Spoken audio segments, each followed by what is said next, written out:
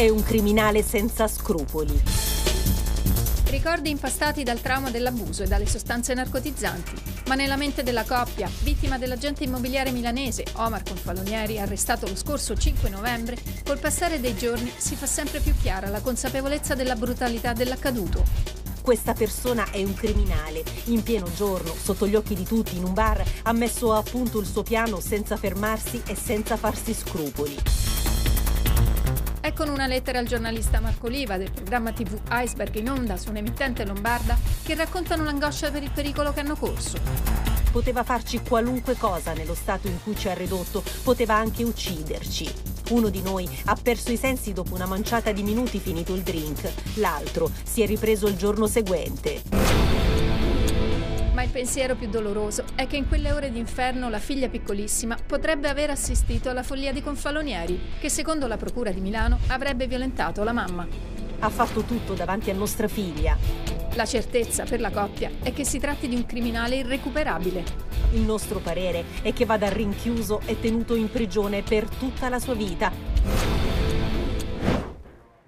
Un uomo pericoloso, così lo descrivono uh, i due, marito e moglie della coppia truffata. Marco Piccaluga, vengono da te in diretta a Milano perché quella che sta emergendo è una serie eh, diciamo, di vicende analoghe che vedono sempre l'immobiliarista come protagonista. Addirittura una donna adesso ha raccontato di essere stata trattata allo stesso modo e in qualche maniera drogata attraverso un arancino.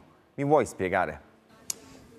Purtroppo è così, la cosa più sconvolgente è che si tratta anche in questo caso di una persona che ehm, Omar conosceva molto bene, era una, addirittura una parente acquisita, a dettaglio questo ancora più raccapricciante, lei ha raccontato oggi è una vicenda risale al 2013 di essere stata avvicinata in un negozio, lui l'avrebbe accompagnata a casa, durante il tragitto avrebbe, si sarebbe fermata a comprare degli arancini e la donna sostiene forse in quel momento ha infilato qualcosa, la droga, le benzodiazepine all'interno di questi arancini. La donna va a casa con lui, Dopodiché si riprende dopo circa dieci ore, si sveglia in stato confusionale, è confusa, si sente male, non ricorda poi molto di quello che è successo, ma il giorno dopo qualche ricordo comincia a riaffiorare, allora capisce che è successo qualcosa, comincia a mettere a fuoco dei dettagli, l'uomo che è sopra di lei, l'uomo che la tocca, l'uomo che le fa vedere dei video pornografici, eh, lo chiama di fronte ai genitori, registra la telefonata e l'uomo si giustifica dicendo probabilmente siccome io assumo degli ansiolitici ci siamo scambiati il bicchiere e tu ti sei sentita male per questo motivo. La versione non convince, la donna vuole sporgere denuncia, fa una visita medica ma poi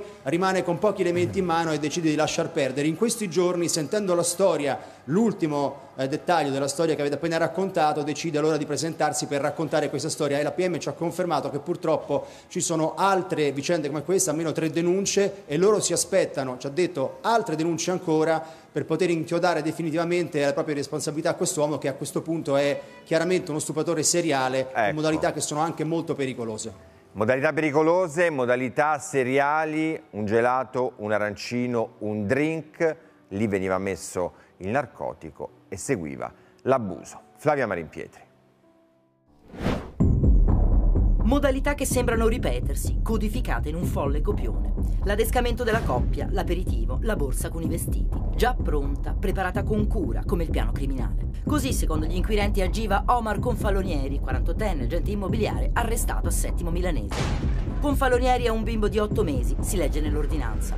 Conosce le sue future vittime all'asilo durante l'inserimento del piccolo e della figlia della coppia, 9 mesi, che sarà poi presente in casa durante gli abusi a gattonare incustodita lo scambio dei numeri di cellulari, la scusa di alcuni consigli per l'acquisto di un box auto, l'appuntamento in una pasticceria del quartiere. Con Fallonieri si fa venire a prendere a casa, non può camminare bene, dice. Al telefono sembra già alticcio. Scende con due borsoni, uno nero, contenente dei gadget erotici, l'altro con vestiti usati, asserendo siano della nipote. Sono quelli con cui vestirà la vittima incosciente dopo averla spogliata. È strano, sudato, la camicia aperta sul petto. Chiede di fermarsi in farmacia. Qui compra un farmaco a base di benzodiazepine vitamine con cui drogherà i due e due siringhe e chiede all'ignaro marito entrato per comprare vitamina alla bambina di pagare poiché ha il portafogli a casa. Al bar con Falonieri è nervoso, fuma continuamente, afferra i due spritz dal bancone prima ancora che il barista li abbia terminati e porta i cocktail al tavolo. Questo è per la signora. Ha appena versato il contenuto delle siringhe nei bicchieri.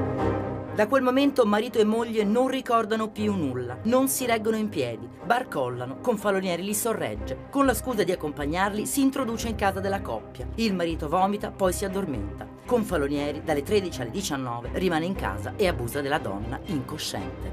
Non prima di averle fatto indossare i vestiti che aveva portato con sé nel borsone. Prima uno nero, poi uno beige. Lei non ricorda nulla. Le telecamere immortalano Confalonieri mentre si approfitta di lei, con indosso quei vestiti, quelli della valigia. Ed è così che verranno trovati dai parenti ore dopo marito e moglie, accasciati sul letto, privi di memoria, lei con indosso vestiti non suoi.